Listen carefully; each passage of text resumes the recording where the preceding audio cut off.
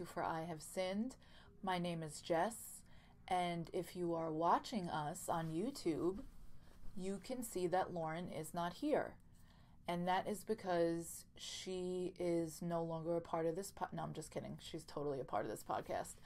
Um, no, she's in the midst of moving, and uh, that's why we've been MIA, so to speak. So, yeah, we've had a lot going on. Lauren's moving is stressful, so I feel for Lauren. Um, so today, I guess I'm I'm going to do kind of a mini episode. Uh, but before I start, I just want to say thank you to my cousin Jason. If you're watching us on YouTube, you have might have noticed that we have a new intro video, which is so cool. I love it. Lauren loves it. Thank you, Jason. So so cool. Uh, also, want to give a shout out to our newest patron, Jamie. Uh, thank you, Jamie, for subscribing. Uh, I've known Jamie for probably like 15 years, about maybe more, I'm not sure. Uh, yeah, but thank you to all our patrons and new patron, Jamie. So, this is actually a case that someone wrote, someone emailed us, and uh, his name is Job. He's from the Netherlands, and this is kind of like his hometown murder. Um, so, if you guys want to write into us, I will at the end of the episode. I'll I'll give you more information. But yeah, thank you, Job, for writing in. This happened in his hometown of, I believe it's pronounced Bladel, in 1992. Bladel is one hour southeast of Amsterdam and 15 minutes from the Belgium border. Bladel was a small farm and industrial town of about 10,000 inhabitants. And Job wrote, currently there are 15,000 inhabitants. We are booming. So they're growing. Uh, up until 1992, the most heinous crimes that occurred were typical and small burglaries. So, you know, small town, not a lot of action, not a lot going on as far as crimes. Uh, I'm sure everybody just felt very safe. Um, if the only thing that's happening is the occasional burglary. So, I'm sure this was the type of town that, you know, had their slept with their doors open, unlocked, not open. That would be crazy. so enter Miet Van Bommel. Her name is Priya is holy crap. Her name is I can't speak. You guys know I can never ever speak and I'm I apologize for it. uh, Miet's name is spelled M I E T, but again, pronounced Meat. She was a longtime bar owner. She grew up bartending since her early teens.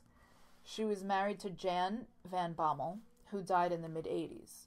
Miet suffered from diabetes and had to have her left leg amputated, which resulted in her leaving the bar mostly in the hands of her staff. She recovered and was fitted with a prosthetic leg within a year.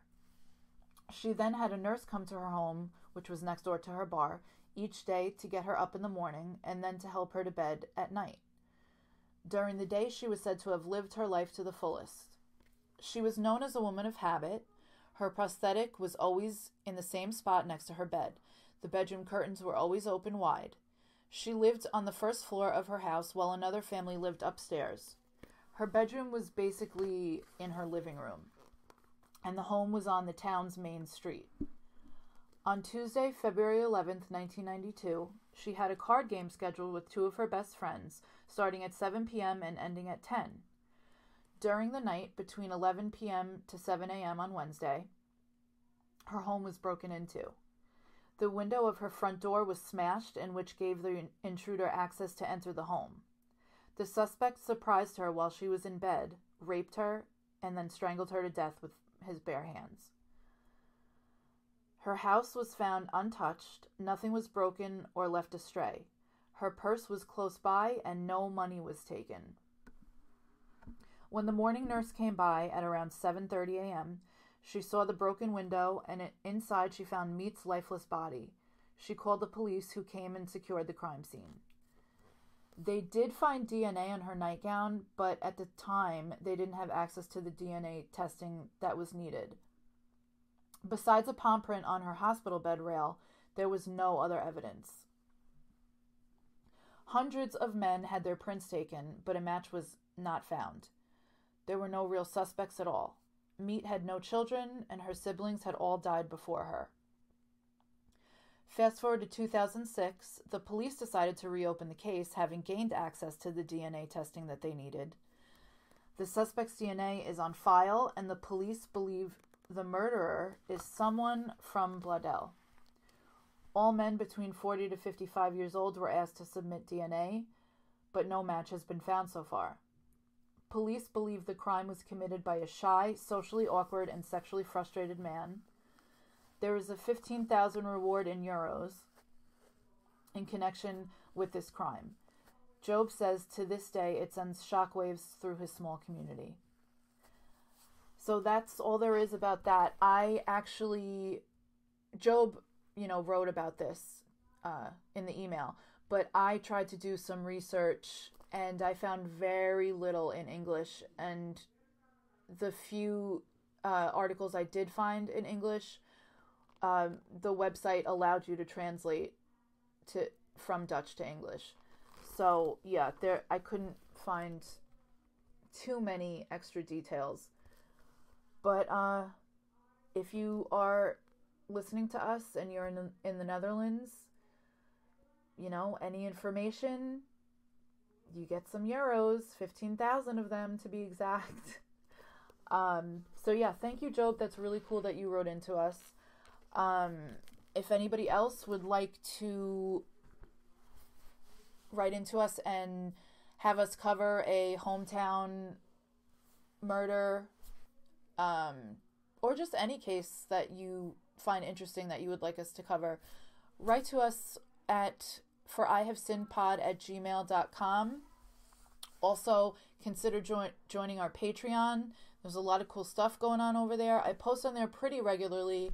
Uh, lately, haven't as much just because we've been we've got we've had a lot of stuff going on. Like I said, Lauren's moving, but we do have a tier that if you subscribe to it, you get early access to our episodes, so you hear the episodes before anybody else. You also get uh, access to crime scene photos. Some of them are pretty brutal, uh, but some people find that interesting. I don't particularly enjoy looking at victims' uh, dead bodies or what happened to them, but I do find crime scene photos very interesting. So there's that. We also have a few tiers. One where you can choose three cases that we cover and there's another tier where you can actually record an episode with us of a uh, case of your choosing. And then we also have merch. We have stickers, we have mugs. We're going to have t shirts soon. We'll see how it goes. But yeah, join us. Thanks to all of our patrons. And uh, that's about it. I hope you guys have. Oh, also, uh, Lauren will be up and running this weekend. Today's Friday that I'm recording this, November 6th. So on Sunday, we should be recording another episode, which means early next week you will hear it or watch it.